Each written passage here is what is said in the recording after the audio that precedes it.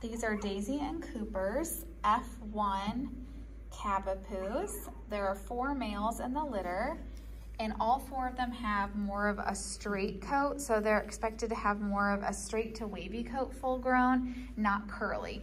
This is sea green ribbon male. He is an apricot and white with red ears. He mm-hmm. should stay pretty similar to the color. He's got a little white on his feet.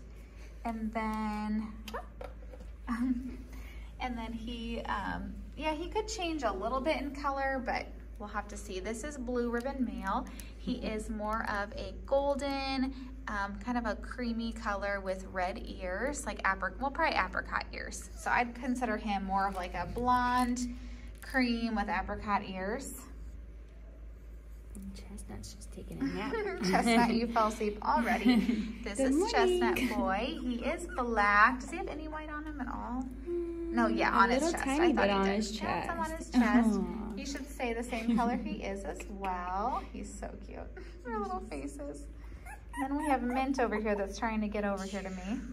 You trying to escape?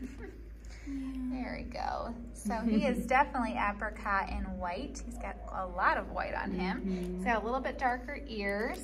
And um, he should stay the same color he is now as well. And There's all four boys.